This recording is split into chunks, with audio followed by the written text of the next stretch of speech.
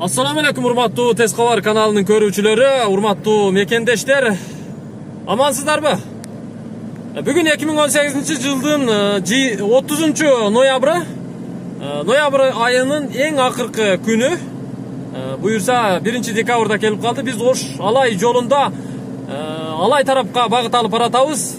Тактап айтканда бул Мады айылы. Мады айылынын Торгой булак айылынан сатыла турган 10 сөтүк жери менен үй бар экен.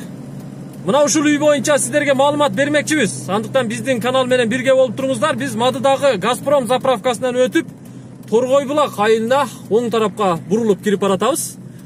Буюрса сиздер алай чоң алай райондорунун тургундары болуп же болбосо ушул мады айылынан жогорку тарапта тактап айтканда чыйырчык ашуусуна чейинки айылдардын тургундары болсоңуздар ош шаарына жакыныраак жерде жашагыңыздар келсе мадынын тургуну болобуз десеңиздер анда көңүл бөлүп кулак салыңыздар ушул видеону аягына чейин көрүңүздөр мына бул көчөнү дагы сүрүп шагал төккөнгө даярдап коюптур буюрса көчөсү жакшы агын суусу кеңири адырдын боорунда дыйканчылык жана мал чарбачылык кылганга ыңгайлуу жашаганга жакшы ош алай ош кытай ош тажикстан ош чоң алай жолунун боюнда трассанын жанында жайгашкан айыл. Мына ушул айылдын тургуну болуп калышыңыздар мүмкүн бизди азыр үй ээсинин жакындары портер менен зымыратып алып келе жатат биз жакындап калдыкпы мына ушул сай менен жогору чыгып бара берет экенбиз а?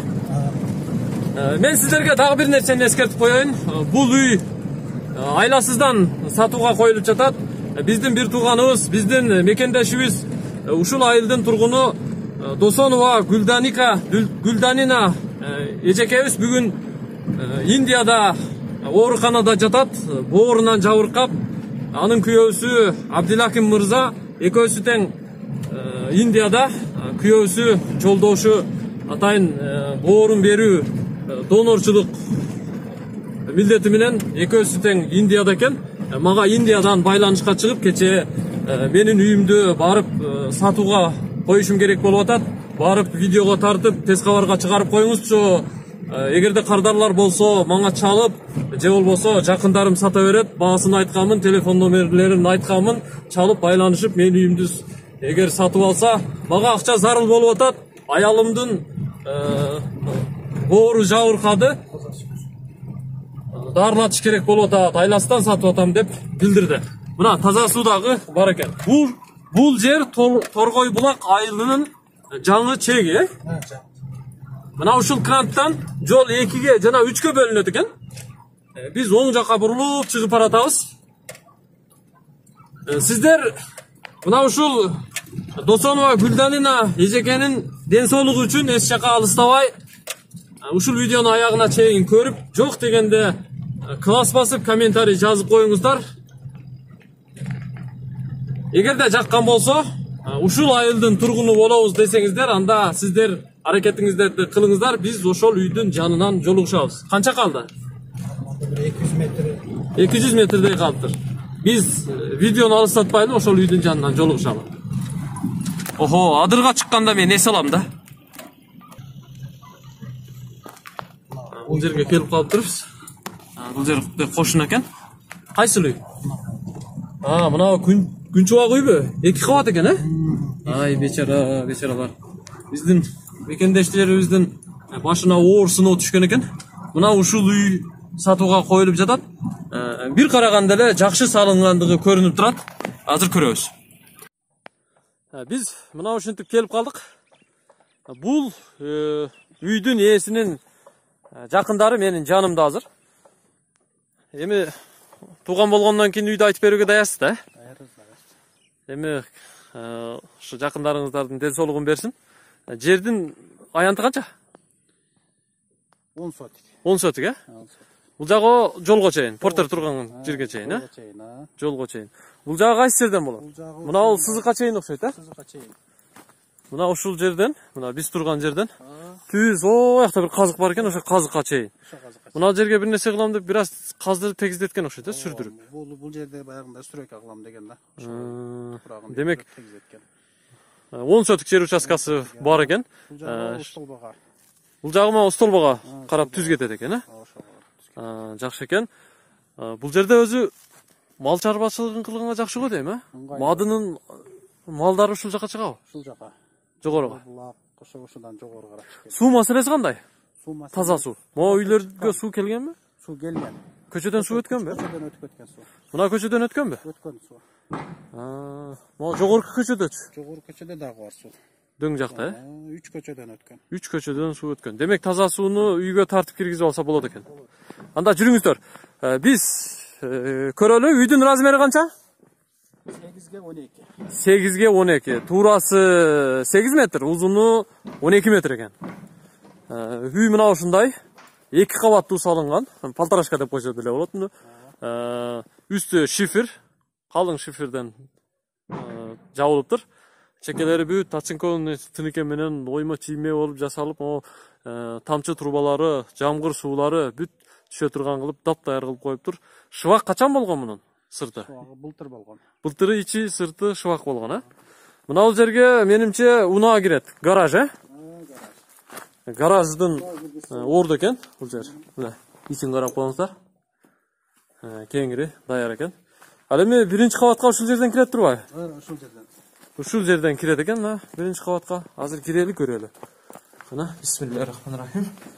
Бул жер мына бут чечүүчү жай экен бул жердин үстү монолит кадимкидей бут чечүүчү жай сол жакта ал эми ушул жерден түз кире турган болсок бул жер дагы бир аз коридорчу экен ал эми оңго бурулуп кире турган болсок оңго бурулуп киргенде бул жерге менимче экинчи кабатка ичинен чыгып кете турган тепкич болот окшойт э ушул жерден экинчи кабатка чыгып кетсе болот экен туугандар анда биз ушул биринчи кабаттын ичиндеги төрдөгү эки бөлмөнү көрсөтөлү бул бөлмөлөр кирме чыкма аянты үч жарымга төрт келген бөлмө экен аркасында мына терезе коюла турган орундугу да бар бул биринчи бөлмө андан оң жака бурулуп кирсе дагы бир бөлмө бар бул бөлмөнүн да аянты үч жарымга үч жарым келген чакан көчө тарабында терезеси бар бөлмө экен биз сиздерге биринчи кабатты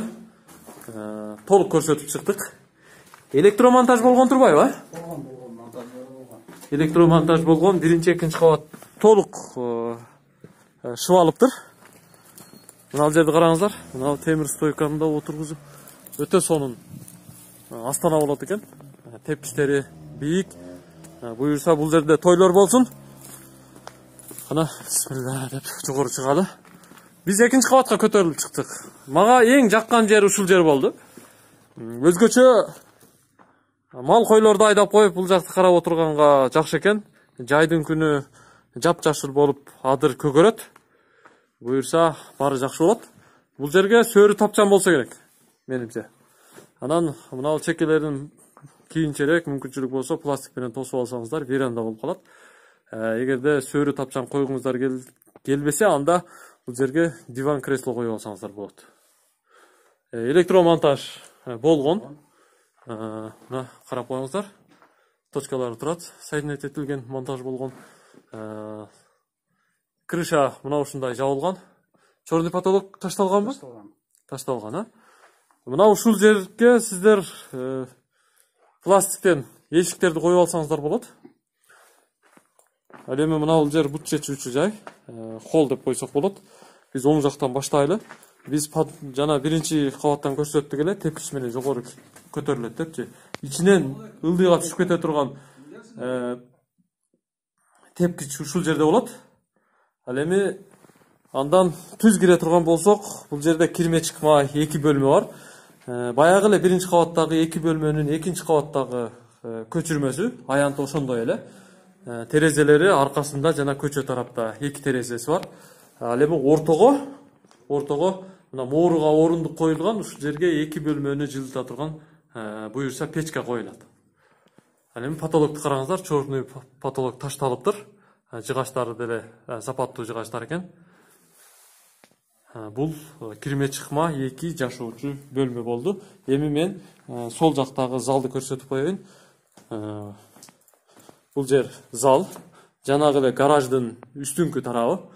Э, туурасы беш метр ал эми узуну алты метр экен бешке алты келген отуз метр квадраттуу жер экен чоң бөлмө батыш тарабында эки терезеси бар азыр биз сиздерге буюрса баасын жана телефон номерлерин жарыялайбыз көңүл бөлүп кулак салып туруңуздар буюрса бул үй кайсы бир биздин подписчиктерибизге буйруп калышы мүмкүн пол жыгачтары ташталган буюрса бул жерге сиздер жыгач менен пол кагып алсаңыздар болот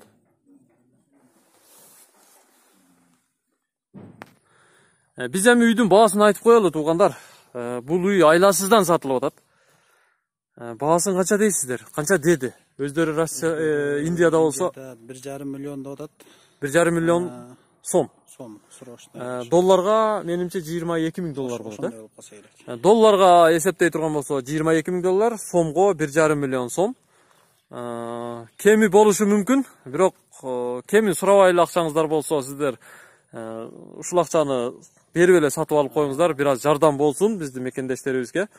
Э, эгерде сиздердин баягы кайрымдуулук ишин жүргүзүп э, мына ушул үйдүн ээлерине э, досонова гүлданина эжекебизге бир аз жардам кылып алланын ыраазычылыгы үчүн э, кайрымдуулук ишин жасап коем десеңиздер жана үйдү сатып алабыз десеңиздер төмөндөгү телефон номерлерге чалып байланышыңыздар. Үйдүн баасын сурасаңыздар да болот соодалашсаңыздар да болот сатып алсаңыздар да болот ал эми жардам катары кайрымдуулук спонсорлугуңуздар болсо анда ушул номердеги жигиттерге бере турганыңыздарды берип койсоңуздар да болот нөл беш жүз элүү алты элүү алты отуз тогуз элүү алты нөл нөл отуз тогуз дагы бир жолу кайталайм нөл беш жүз элүү алты элүү алты нөл нөл отуз тогуз whatsapp.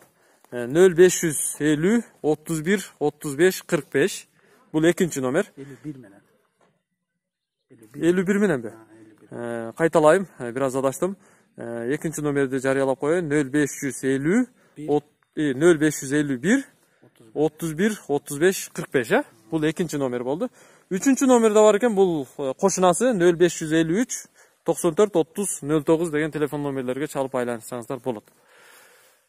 ким оорубасын урматтуу тез кабардын көрүүчүлөрү айласыздан үйлөр сатылбасын биздин мекендештерибизге ден соолук берсин сиздер тез кабар каналынан ош облусунун э, мады айылындагы торгой булак э, жаңы конушунан сатыла турган үй боюнча маалымат алдыңыздар эгерде ушул сыяктуу үйүңүздөр жериңиздер же бизнес жайыңыздар болсо анда тез кабар сиздер үчүн кызмат кылат биздин телефон номерлерди жазып алыңыздар тез кабарды издесеңиздер нөл беш жүз элүү сегиз сексен алты нөл нөл он бирине чалсаңыздар сексен алты нөл нөл